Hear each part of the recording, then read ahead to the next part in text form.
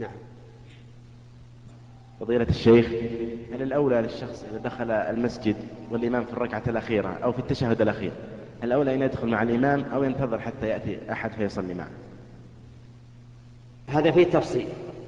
إذا دخل ومعه إذا جاء إلى المسجد وهو في التشهد الأخير إن كان معه أحد يعني حوله أحد سيصلي معه انتظر.